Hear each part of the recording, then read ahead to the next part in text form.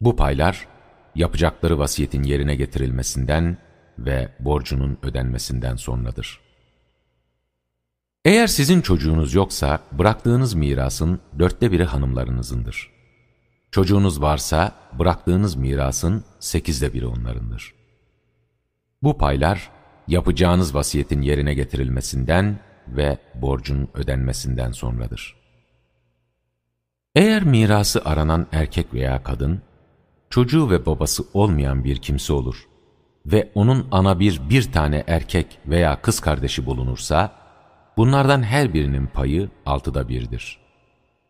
Eğer ana bir erkek ve kız kardeşlerin sayısı birden fazlaysa, onlar üçte birde ortaktırlar.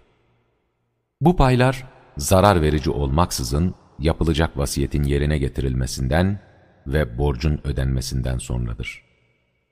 Bunlar Allah tarafından bir emirdir. Allah çok iyi bilen, çok yumuşak davranandır.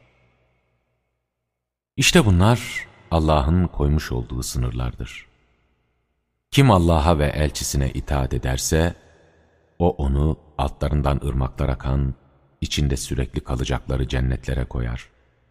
İşte bu çok büyük kurtuluştur.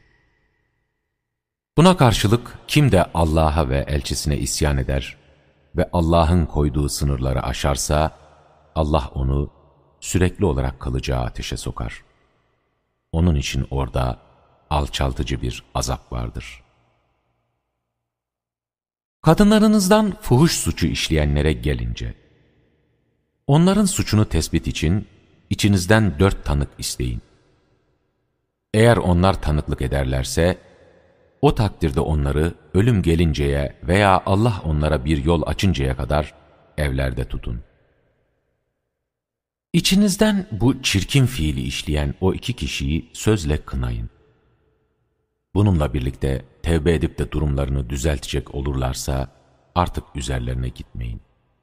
Çünkü Allah tevbeleri çok kabul eden, çok merhametli olandır. Allah'ın kabul edeceği tevbe, bilmeden günah işleyenlerin ve ardından da gecikmeden tevbe edenlerin tevbesidir. İşte bunlar Allah'ın tevbelerini kabul edeceği kimselerdir. Allah çok iyi bilen, çok bilge olandır. Yoksa kabul edilecek olan tevbe, kötülükleri işleyen ve kendilerine ölüm anı gelip çattığı sırada da şimdi tevbe ettim diyenlerle inkarcı olarak ölenlerin tevbesi değildir. Çünkü bunlar kendileri için can yakıcı bir azap hazırlamış olduğumuz kimselerdir. Ey inananlar! Kadınlara zorla mirasçı olmanız size helal değildir. Açık bir fuhuş işlemedikçe, onlara vermiş olduğunuzun bir bölümünü geri almak için onları sıkıştırmayın. Onlarla iyi geçinin. Eğer onlardan hoşlanmıyorsanız, bilin ki Allah, hoşlanmadığınız bir şeyde birçok hayır yaratmış olabilir. Eğer bir eşi boşayıp, yerine başka bir eş almak isterseniz, onlardan ilkine yükler dolusu mehir vermiş olsanız bile, ondan hiçbir şeyi geri almayın.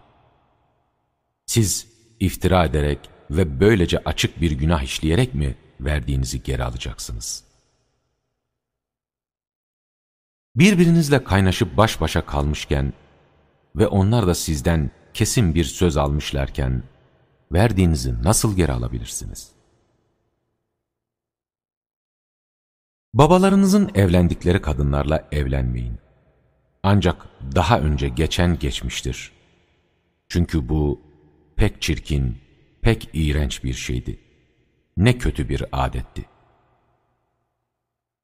Size analarınız, kızlarınız, kız kardeşleriniz, halalarınız, teyzeleriniz, erkek kardeşinizin kızları, kız kardeşinizin kızları, sizi emziren süt analarınız, süt kardeşleriniz, eşlerinizin anneleri, gerdeğe girdiğiniz karılarınızdan olup da evlerinizde bulunan üvey kızlarınız ki eğer onlarla gerdeğe girmemişseniz kızlarıyla evlenmenizde bir sakınca yoktur. Öz oğullarınızın eşleriyle evlenmeniz ve iki kız kardeşi aynı nikah altında bulundurmanız haram kılınmıştır.